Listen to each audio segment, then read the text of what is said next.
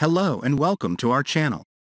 Today, we're excited to bring you an exploration of the electrifying events that occurred between Phyllis and Tucker in The Young and the Restless. According to ardent fans, Tucker cunningly cornered Phyllis, leaving her with no way out from the relentless pursuit of the police.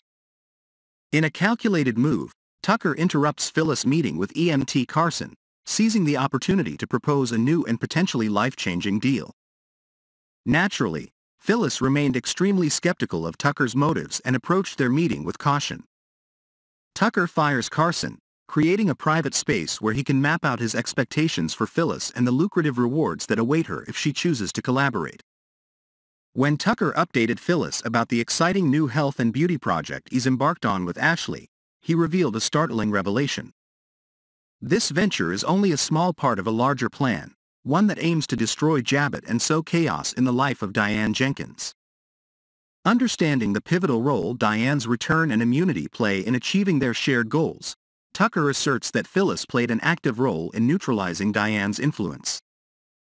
However, he stipulates that Phyllis must reach this agreement before Carson can step in to assist in clearing her name and resolving her legal predicament. There is no doubt that Phyllis will encounter countless trials and obstacles on her perilous journey. However, her main focus remains on submitting herself and launching the events that will eventually lead to her freedom. However, Phyllis couldn't ignore the inherent risks involved in associating herself with the notoriously unreliable Tucker. Despite her reservations, she eventually realizes that she has no choice but to team up with him, forging an alliance that has always been on the razor's edge. Michael, a skilled and dedicated attorney, meticulously worked to organize a strategic plan for Phyllis to surrender to the authorities in the famous lobby of the GCAC.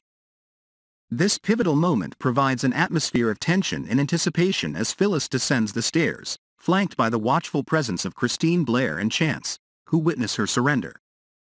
Phyllis embarks on the task of implementing Tucker's intricate plan with the burning hope of a favorable outcome. With luck on her side, she yearns to regain her hard-fought freedom while at the same time pushing Diane dangerously close to the edge. Be prepared for unexpected twists and turns ahead, as the intricacies of Phyllis' journey continue to captivate audiences. Stay tuned and subscribe to our channel for more exciting news waiting for the young and the restless.